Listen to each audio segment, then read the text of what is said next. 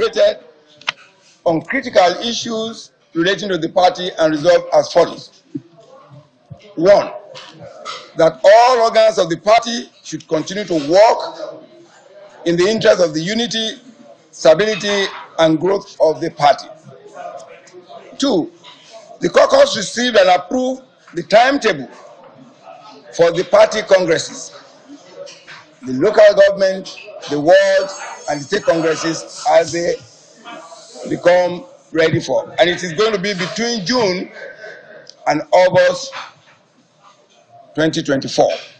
The caucus approved that the NWC should reconstitute the disciplinary and reconciliation committees of the party. These are standing committees of the party that we need to rejig in proceeding with all our issues in the party. Umar Damagum continues to be the acting national chairman of the party until the next meeting of NEC after tomorrow's NEC meeting. And the, and the, and the advice on that is this. The party considered that it is important to have more consultation on that issue. And that what we're going to live with is that we as a party must be united. And those issues are not such as to divide us. Knowing that we are going to follow our constitution in line with any succession plan, having regard to the circumstances we find ourselves. All right, so that and more what we'll be talking about this morning. And we've got uh, Mr. Humphrey Abba here with us in the studios. He is a former Minister of Interior, former Minister of Police Affairs, former Minister of Trade and Investment, He's a legal practitioner, and now chairmanship aspirant for the People's Democratic Party. Good morning, and thank you for joining us today on the program. Good morning, Chamberlain. Quite morning. a lot, quite a lot unfolding in the party. Yeah. Uh, some thorny issues, uh, one of which is the chairmanship position. So um, you heard Mr. Debo Ologunagba, the spokesperson of the party, reading out some of the decisions that have been taken ahead of your NEC meeting.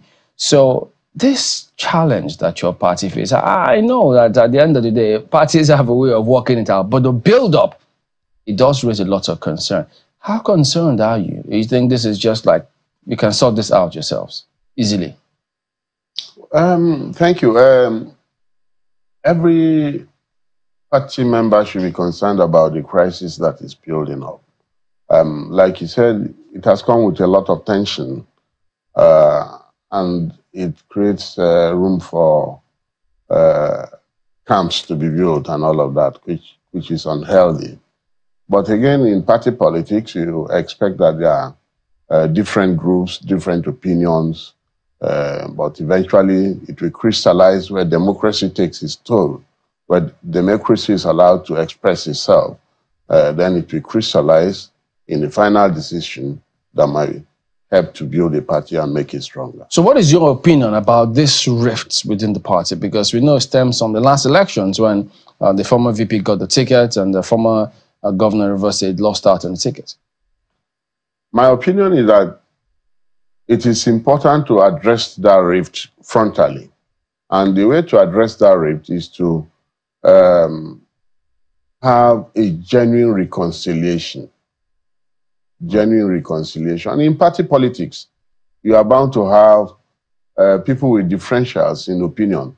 But at the end of the contest, we must have the ability to genuinely reconcile party members and get them to work together. You said genuine a number of times. It suggests that whatever else has happened was not genuine. I, I don't think there has been reconciliation um, uh, that have been accepted acceptable to both sides. What would the difference be in this one? Um, maybe in the people that will bring them together to settle them, to be able to tell them the truth and say, okay, you, this is it, this is the part to toe, this is the constitutional uh, uh, provisions of the party, follow it and do what the party wants you to do. So there must be, um, like we have the board of trustee, which is made up of our uh, eminent, Elders. eminent elders and leaders. I am of the view that the board of trustees should be able to call the parties involved and uh, settle this issue in finality. I'm very happy that you immediately, because my next question to you was going to be who who has the power to, you know, call the parties together and and say, you know, this is this is for them to reconcile. But I, I, I'm just a little curious um, as to whether they've not gone beyond reconciliation. When you look at all that has transpired so far, and the fact that right now one of the major contenders is a minister not just a minister of anywhere, minister of the Federal Capital Territory, serving in the government of the All Progressives Congress. Um, don't you think that too much has happened for any meaningful reconciliation to take place? No, uh, as long as we are all still members of the People's Democratic Party. You accept his membership of the PDP? Yes, why not? He's still a member of the PDP. He has not renounced his membership. Hmm. He has not renounced his membership. And um, if I may say, uh, with benefit of hindsight, it's not the first time that um, governments have formed cabinet across boards. Uh, President Obasanjo did it in 1999, where he brought members of um, ACN and APP into his government. But he did that with the knowledge of their parties Yes, and I and the I permission of their parties. Yes, I understand that the National Working Committee of uh, PDP gave approval for this to happen. Uh, that was done. They did. Yes, they did that early in the in, in the days of So the formation why are some government. people then saying it's anti-party activity? It, I think it is um, uh, running from what happened after the uh, presidential congress uh, of the party last year. Uh, I think that bad blood is still uh, building, is still is still uh, running in both camps. So uh, the divide has not closed. The divide has not closed. Otherwise, it is not um, a new thing that cabinets are formed uh, across party lines in this country. Uh, it is supposed to promote unity. It is supposed to uh, drive inclusiveness and all of that. But here, uh, I think it is uh, tearing us apart. Because some people have also, you know, said that this is an act of indiscipline. Yes. And they think that, you know, the minister should be disciplined Yeah, by I the think party. it, it is uh, it is uh, a fallout from the presidential elections. It is a fallout from the positions that parties took before and during the presidential elections. That is why I said earlier that we have not been able to have a genuine reconciliation of the uh, two parties uh, post uh, presidential primaries. Once we you are able to achieve that, all this will die out. How is that going to be achievable given that trust has been so irretrievably broken? Yes, uh, it is. It is uh, damaging to break trust. I agree that it's damaging to break trust. But in a political dispensation, where the interests of the party and the people you represent ought to be paramount, then uh, parties should be should be aware that the people are more uh, are, are the central focus, not their individual interests. So uh, that's why I said earlier that the members of the board of trustees have a Herculean task in bringing these two people together and settling them so that there can be peace in the party. One of the key point bone of contention is the chairmanship seat, Yes. for which you are vying for. yes. Now, you heard the uh, the spokesperson also say, Mr. Damagum will continue till probably the NEC uh, because they want wider consultation. As a result of, you know, the former chairman Ayu has said, okay, he's putting out his case in court. And so some people still think, no, Mr. Damagum should not be. They should be gone since yesterday. And then that's on the one hand. Then, in addition to that, you also have different people who are saying that position should be maintained from where it came from, which is not Kogi State. No, it's not about states, it's about the zones. The position of the national chairman was zoned to North Central. Yeah. Uh, Dr. Iyorchia Ayu is from North Central. Mhm. What the North Central team is saying is that that position, uh, his tenure, the tenure remains to be served out, as it has happened in time past. That replacement should be done from North Central. Now, what the PDP governors have said, uh, uh, consequent to their meeting last night, was that because of the tension the palpable tension that everybody can feel uh, in order to try to maintain unity in the party. Uh, there should be a little time given for wider consultation for a replacement to be made of Damagum. They are not saying that Damagum should not be uh, replaced. I do not think that is what they are saying. If you listen, No, he remains until. until August. he Yes. said. Now, so there is a time frame for consultation and to calm down nerves, in order to for allow the North Central uh, Zone to produce a replacement for Dr. Oyechayo. We had a meeting yesterday, the caucus of North Central, Okay. and we reached a resolution that the North Central will ask will ask at today's NEC for the enforcement of the Constitution. That's it. because this is a constitutional thing. What part Um, I think Section 46 or so regarding the position of the uh, chairmanship? uh, says that where the chairman is uh, uh, uh, resigns or uh, is taken out of office, it should be replaced from the same zone to serve out that term. So all we are asking for is that allow us to serve out the term in North Central because that has been zoned to us. So, what will serving out the term mean in, in this case? Does it mean to the end of his tenure in 2005, uh, uh, 2025. Yeah. And we have precedents. It has happened in time past. It's not happening for the first time. When uh, Bamanga Tukur resigned as the national chairman of uh, PDP, he was replaced by somebody from the zone. When uh, um, uh, um, the former governor of Bauchi State also resigned, he was replaced by somebody from the zone. As a matter of fact, the matter has been contested in the courts. And the Supreme Court had given a decision that that was the proper thing to do. Where a man resigns from office based on our constitution, you should replace that officer from the zone where the uh, office was zoned to. It's, if you look at, uh, we lost the national woman leader of PDP recently, and the South South zone met and replaced her with somebody from the South Side. It didn't cause any rancor when the zonal chairman of uh, Southwest, who is a member of the NWC, died, he was replaced by somebody from the Southwest.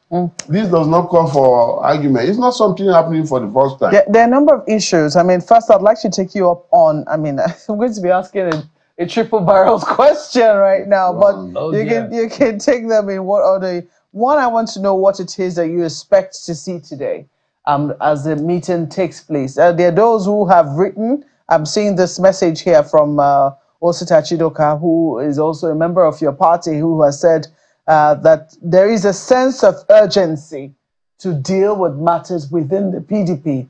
Um, he's not saying very clearly what exactly must happen, but he says the party must put an end to its submission to filthy luc- lucre and macabre dancing to the music of unprincipled pipers. It must return to the role of providing good governance to its states and principled opposition that Nigerians can trust. Um, he says if this doesn't happen, the consequences will be dire. It's a matter of grave urgency to save the soul of the party that ushered and stabilized democracy in Nigeria. Um, it comes actually with a subtle threat that if this doesn't happen today, he'll be one of those who he'll be one of the pallbearers, so to speak. So, uh, so I'm just wondering, what do you expect to happen today? Well, I expect that our party should firmly, firmly restate the position of our constitution and the readiness of the party to comply with it. The time frame becomes a different ball game, right? Because you, you cannot conduct an election today to replace or a replacement. You cannot produce a replacement for Dr. Ayu today. So you have to set a time frame for it. But let the party come out clearly to um, tell us members that they are ready to obey the party constitution. From what you read out uh, of Osi- Osita's uh, uh, uh, Message. write, write up and message, I, I, I agree with you in that. Look, we need to begin to show that we are ready to obey our own rules. The, the, the major problem PDP has is the disobedience to our own rules. Disobedience to our own rules. That is what is causing all this crisis. If, if you and I are going into contest and the party that is an umpire provides uh, um, ground rules for the contest. And we now get on, into the field, and I find out that no, the party is not following even the rule they have set, and they are now leaning towards one of us. It's going to cause bad blood. It's going to create uh, uh, enmity. It's going to become difficult to settle us after the contest. And that is what is destroying the party on a daily basis. I think that is what Osita is alluding to. And I agree with him to a, a, a great extent that we need to reaffirm to members, uh, NEC needs to reaffirm to members that they are prepared to go by the rules of the party and ask North Central to replace Dr. Iyorchia Ayu. What's the significance of the court case which he withdrew, the appeal which he withdrew? That's uh, Senator Iyorchia Ayu from the courts.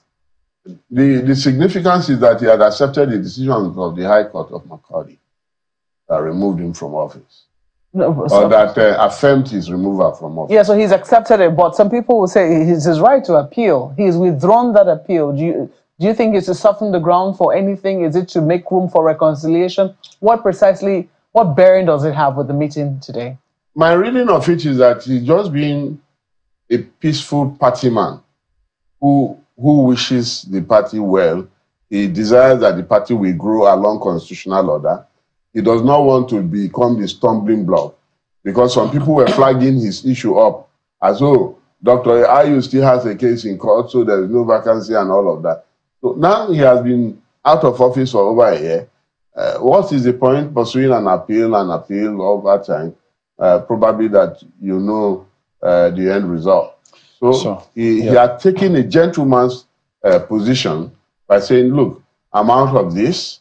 Let there be peace in the party." Why do you think you should be the PDP chairman and not any other person, maybe former governor of Benue or anybody else? Well, a lot of us are qualified to be PDP chairman. Well, I think I have uh, specific issues that, if given the opportunity, I would like to address. Uh, and you know that the vision belongs to the visionary.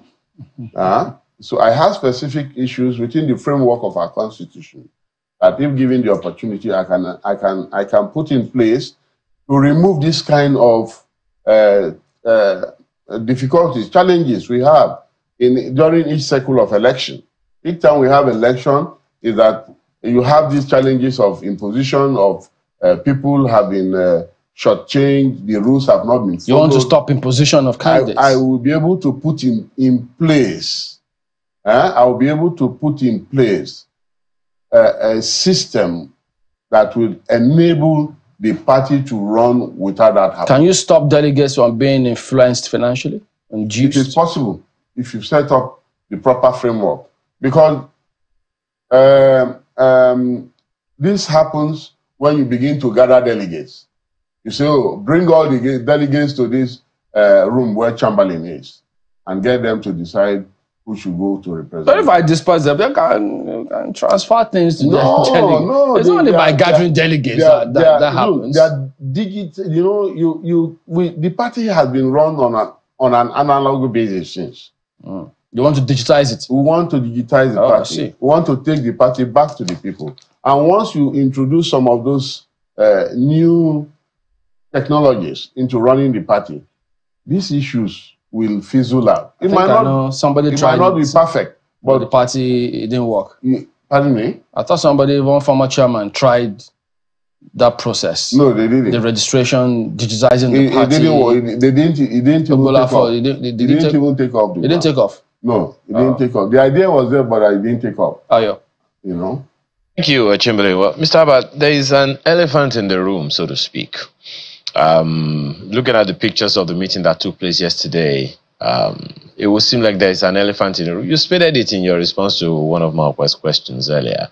But the issues that informed the differences in the build up to the 2023 presidential election, they seem unresolved um, between the um, some elements in the party, the two camps, so to speak, some elements in the party in support of the former vice president's um, uh, intention or attempt to be president of Nigeria, and uh, former governor of Rivers State, Nyesom Wike, who is also minister of the FCT today. How should or how would you address that kind of issue given the opportunity? Because there are still frayed nerves. Uh, thank you. You know, um, I had said it earlier, and I want to repeat um, that in all of human association, you are going to have, you are bound to have frictions. You are bound to have differences, and these differences will lead might might lead to frictions. But the ability for conflict resolution, proper conflict resolution, uh, will help to free this now to, to, to free this nerves from uh, busting. So what needs to be done is to we have leaders, we have elders in the board of trustees, we have respectable leaders. We need to constitute honest men and women and get them to bring these people together and resolve it. In every of human establishment, conflict resolution is integral Well, because you expect that there will be conflict hmm. along the line. Even Well- in a family, in a, a nucleus family, in a nucleus family where you have 10, a man had given birth to 10 children. Hmm. You do not expect that all of them will agree on all fours on everything. well, M- Mr. Abba, it's been a very, but very it is the role of the father to Yes, to- just a, just a second. Huh? It's it's been a very costly, very very costly conflict unresolved for the uh, PDP, particularly in the last election, given all of the build-up that happened I and agree with you. this particular conversation that you are having with us now, the issues that you are raising, that the elders ought to have done something. We know, you know, everyone knows how it went or didn't go. So, what is new that should be done that has not been done because we understand that there were attempts at the time to intervene. What should be different now? They sat in the same room yesterday trying to hold a meeting. And of course, so how do we make progress with this kind of situation when PDP is supposed to be the leading opposition party in the country? what should be done differently is the people who were managing the party. Uh, let me take you back after the presidential primaries. The people who were managing the parties, who uh, noticeably became uh, part of the problem, were also the people who tried to resolve the problem. And that could not have produced a positive re- uh, uh, result. Because if I know that you worked against me in a primary, you worked you work for one of the candidates in the primary and you turn around to want to now settle us how do you think uh, i will accept your intervention as being genuine they should we we have people who are not on either side. And that's why i keep talking about elders in the board of trustees. We have people who are not on either side who have not been involved in the settlement of this matter. And i think they have a large role to play, and they have the capacity to call these two people to order and bring sanity back to the party, so that this party can assume its legitimate role in its real role of being the largest party in this country. This What is also the largest party in this country. Yeah, what, what what's also interesting, Mr. Abba, is it's not only in this case that there were differences. In the build up to the 2023 uh, general elections, there were all kinds of divis- divisions, um, particularly in the People's Democratic Party, since that's what we are talking about right now. And there are those who say even the fallout of the 2023 elections in several other areas haven't really settled. So the, the lack of that uh, conflict resolution may also be seen being displayed right now in River State with the former governor and um, the incumbent governor. Should is it time for the PDP at the national level to intervene? Because it would seem like there's been silence over time. There is, yeah, you are you are correct. The fallout came out from the presidential primaries, and it has been snowballing from one event to the other. Um, uh, giving you the current example you gave in Rivers, yes, our, our leaders at the top level uh, are leaders who who are not involved in any side of the on, on, on either side of the dispute ought to come in to resolve these issues. It is time for the people at national level to intervene in rivers and uh, bring sanity back uh, to the party in that state. Uh, the the sad thing that is happening in PDP is that there's um, uh, you are gradually having people building camps and holding on to them uh, fastidiously. They are building camps um, and taking ownership of the party instead of allowing the people uh, who originally owned the party to own the party. If if we do not stop this, if we do not take the party back to the people, if we do not change the ways we are doing things, if we do not uh, reinvent PDP, the, the party will just uh, uh, collapse. I'm afraid to say. If we continue the way we are going, the party will be in, in deep crisis more, and it will not help us. So I, I use this opportunity to, to ask the elders especially those of them in the board of trustees who are not on either side of this conflict, to step in and call people to order and call Just, a spade a spade. So, what is a spade? What is a spade in this case? Discipline must be brought back into the party. That is, is a way of calling a spade a spade. Discipline must be brought back into the party. If you see that I have not obeyed the constitution of this party, if you see that what I'm doing is contra the contra the rules and regulations of the party, there should be somebody who should be able to look at me and say, look, Humphrey, what you are doing is offending our party constitution. You should stop it or we'll discipline you. We All must right. have the capacity to do that. Uh, the party has since lost that ability.